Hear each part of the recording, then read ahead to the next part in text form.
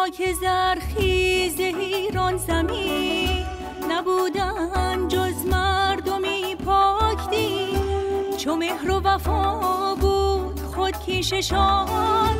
گنه بود آزار کس پیششان همه بنده ناب یزدان پاک. همه دل پر از مهر این آب و خاک. پدر در پدر آریایی نژاد ز پشت فریدون نیکو کجا رفتان دانش و هوش ما؟ که شد مهر میهن فراموش ما؟ نبود این چنین کشور و دین ما. کجا رفت آین دیرین ما؟ گران مایه بود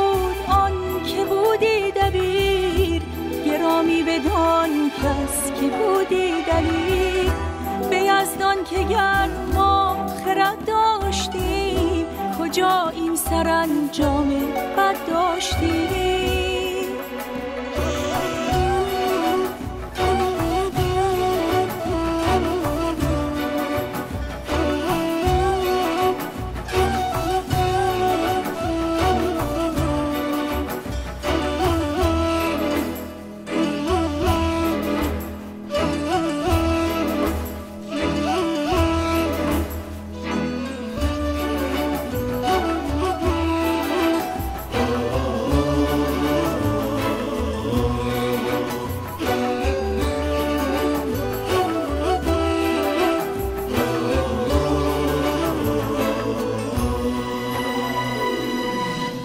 دشمن این بوم و برلانه داشت. نه بیگانه جایی در این خانه داشت. از آن روز دشمن به ما چیره گشت که ما را روان و خرد تیره گشت از آن روز این خانه ویرانه شد. که نانا برش مرد بیگانه شد. چناکس بده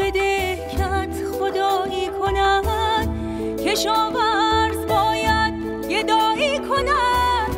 اگر مایه زندگی بندگیست دو صد بار مردن به از زندگیست. بیا تا بکوشیم و جنگ آوریم. برون سر از این بار ننگ آوریم. اگر مایه زندگی بندگیست به صد بار مردان زندگیست بیا تا بکوشیم و جنگ آوریم